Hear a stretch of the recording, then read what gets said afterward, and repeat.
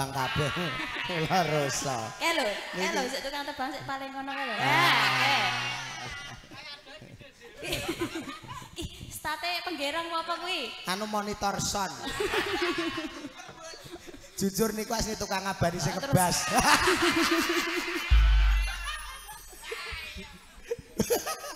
Ya. Ngugemi janji.